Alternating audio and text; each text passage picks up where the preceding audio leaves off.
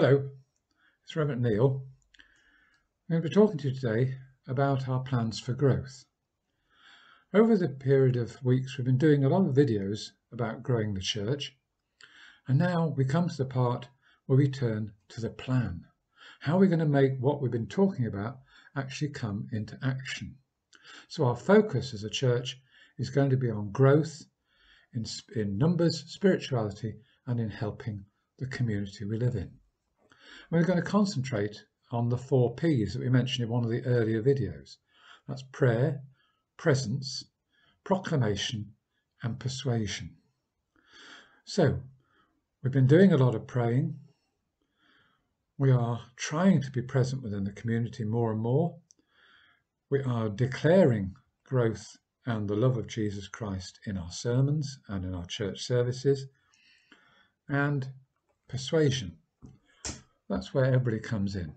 Talking to people, letting them know about the love Jesus uh, of Jesus that's made a difference in their lives and how it can make a difference for them.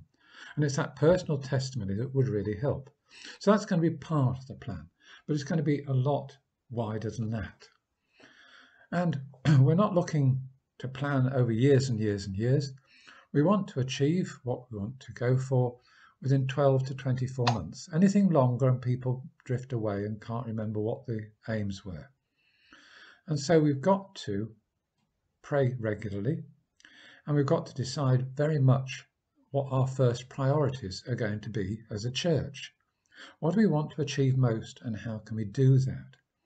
And then we've got to review it regularly as time goes on to make sure we're not losing sight of where we're going or going in the wrong direction. We've also got to decide as a benefice whether we're going to have one grand plan for all four churches or whether we're going to plan church by church. We also be concentrating on a sub-plan, as it were, for children's and young people's work. And there's three sections in that. There's preschool, there's primary school, and there's secondary school.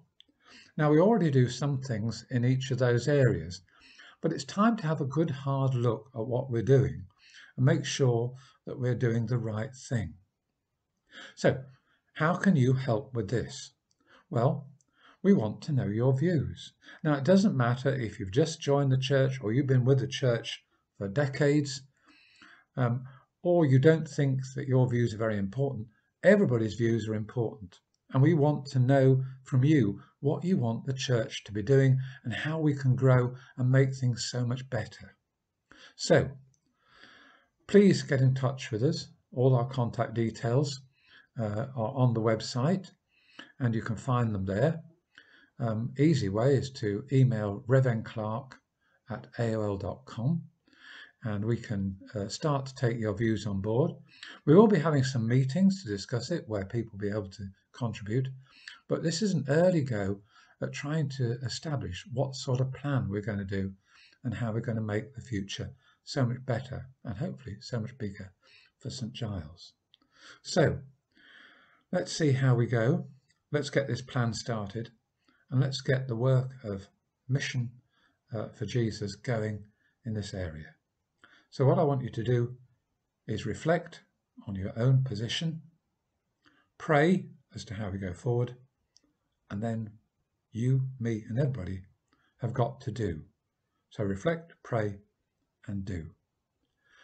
I'm now going to put up the uh, special prayer for growth, which we'll all say together.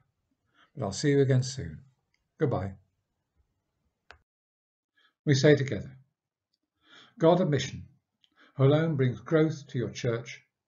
Send your Holy Spirit to give vision to our planning, joy to our worship, wisdom to our actions, and power to our witness. Help our church to grow in numbers, in spiritual commitment to you, and in service to our local community through Jesus Christ our Lord. Amen.